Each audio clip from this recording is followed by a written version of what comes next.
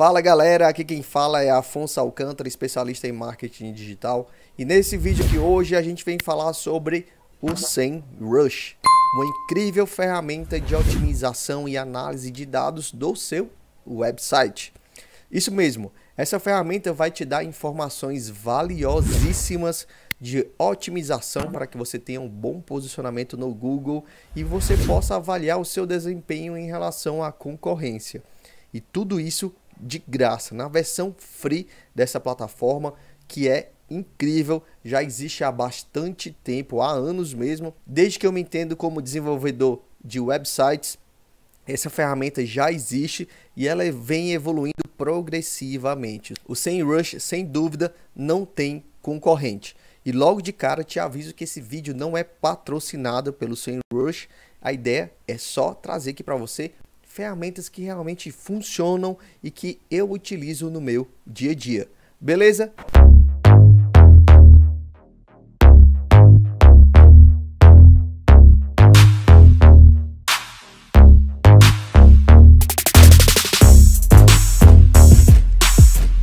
Então, a ferramenta SEMrush é uma ferramenta de otimização de websites comparativos com a concorrência, SEO, keywords, tudo que você imaginar referente a melhorar o seu posicionamento, a entender o que é que realmente está acontecendo com o seu site. Essa ferramenta SEMrush. Eu vou abrir aqui a nossa tela para que você possa acompanhar junto comigo na versão free muito fácil, coloca o seu e-mail, sua senha aí, cria sua conta, coloca o seu domínio, o endereço do seu site. Se você criou o seu site recentemente, não vai funcionar porque o sistema não deu tempo de capturar essas informações. Então, se o seu site não está indexado, não tem nenhum tipo de indexação, ele não vai aparecer aqui. Então, não adianta nem tentar. Agora, se o seu site já está no Google, já tem algum tempo que está publicado, que está online, e você fez algum tipo de otimização ou não, ele vai aparecer sim aqui no SEMrush. Então vamos deixar de blá blá blá, vou direto para minha tela aqui para que vocês possam ver que como é que funciona o sistema. Muito fácil, simples e direto. Então galera, ao entrar aqui no SEMrush, primeiro site, né, obviamente, é esse daqui, semrush.com, você vai entrar aí nele, vai aparecer essa tela aqui, você de cara já coloca aqui, ó, PT português e vai digitar o seu sitezinho aqui, tá certo? Vou botar o WebHot, que é um site nosso uh, que é de afiliado da Hotmart, que tem aí uma série de indexações, muita coisa no Google. E eu vou botar aqui também, que é no Brasil, né? Brasil, ok. E vou iniciar aqui uma busca, beleza? Vou colocar aqui uh, a minha conta. Você vai colocar o seu e-mail aí e sua senha. E aí, galera, tô aqui na minha conta, certo? Vou digitar aqui o domínio que eu vou querer fazer a busca, webhot.com.br. O site é esse aqui, webhot, para vocês entenderem o que, é que eu estou buscando e vocês estão vendo aí e entender, tá certo? Ah, e o sistema aqui está fazendo já uma leitura, ó, certo? Do site. E o site está aqui carregando ainda, a internet que está péssima, mas já está funcionando. E vamos lá, tá aqui o site. WebHot, galera, é um site voltado só a infoprodutos da Hotmart. Então aqui a gente tem vários produtos, vários infoprodutos. E todo esse site ele é indexado no Google, tem todo um processo de indexação, muita coisa mesmo. E como vocês estão vendo aqui, tem muita coisa, muitos cursos que você pode também adquirir se você quiser, tá certo? Então acesse aí WebHot e compre aí curso de tudo que você imaginar. Mas a ideia não é fazer promoção aqui do WebHot. Vamos lá por 100 Rush. Fiz a busca e vamos lá, o que é que ele dá aqui? Tá certo?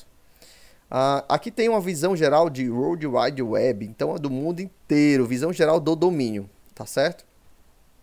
Aqui a gente tem alguns tipos de, uh, de informações. Primeiro eu botei em português aqui, para vocês verem. Aqui a gente tem aqui o tráfego orgânico, é o crescimento do site organicamente, sem patrocinar sem nada, certo? Sem nada.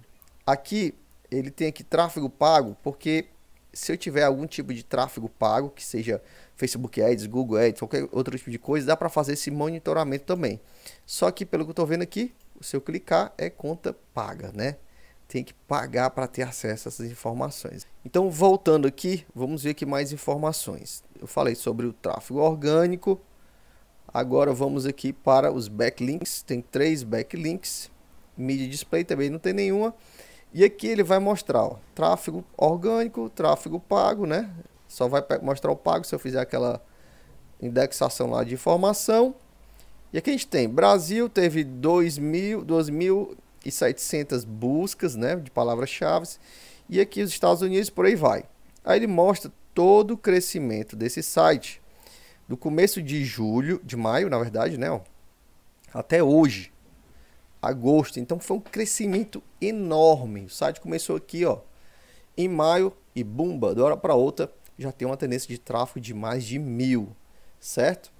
E aqui a gente tem as buscas de tendências de palavras-chave, que também iniciando no período de maio, que é quando foi fundado o site, e o seu potencial crescimento, tá certo? E aqui, galera, tem algumas coisas interessantes. A gente tem aqui as principais palavras-chave orgânicas do que as pessoas buscaram lá no Google e encontraram o nosso site. Eu posso clicar aqui em ver detalhes. Aqui a gente tem o tipo de distribuição por orgânico também, tá certo? Isso tudo vindo lá do Google, beleza? Aqui a gente tem os principais concorrentes orgânicos, sites que são semelhantes ao meu e aqui ele mostra quem são eles. E aqui o nosso posicionamento em primeiro lugar em relação aos concorrentes desse mesmo nicho, beleza? E aqui a gente tem os backlinks, uh, sites que estão apontando aí para o nosso site, beleza? Ah, então todos esses sites aqui ó estão apontando aqui para o nosso site e você pode saber quem são seus parceiros aí também por essa plataforma. Aqui as principais âncoras, beleza? De uh, links, domínios de referência, mostra aqui também. E aqui algumas páginas indexadas com é, erro de dados, beleza? E aqui, galera, tem muita informação que você pode buscar ou a nível mundial aqui no World Wide Web ou aqui por país, beleza? Então a gente tem tráfego, análise de tráfego, análise de pesquisa orgânica, lacunas nas palavras-chave, lacunas nos backlinks, a visão geral da palavra-chave, Keyword Magic Tool, todas essas informações aqui, ó, são itens que você pode aplicar no seu site para poder melhorar ele cada vez mais. Então, só a parte de social media também, que está na parte beta, foi implantada agora recentemente, que também é muito interessante, beleza? E outras zilhares de uh, segmentações que você pode fazer a nível de programação para o seu site. Agora, só use o SEMrush se você realmente estiver inspirado em otimizar o seu site e ganhar posicionamentos orgânicos e você poder saber realmente quem é o seu concorrente, quais são as palavras-chave mais buscadas e poder aí tomar estratégias. Geralmente essa plataforma é utilizada mais por pessoal que está dentro do marketing digital mergulhado mesmo. No entanto, eu vejo uma grande forte tendência de usuários comuns como empreendedores, pessoas que têm ali seu site já estão entendendo um pouco mais e estão começando a utilizar essas plataformas de otimizações para poder melhorar cada vez mais o seu posicionamento orgânico. É importante obter números, esses números são públicos, essas ferramentas conseguem sim captar essas informações e por isso elas são tão precisas assim.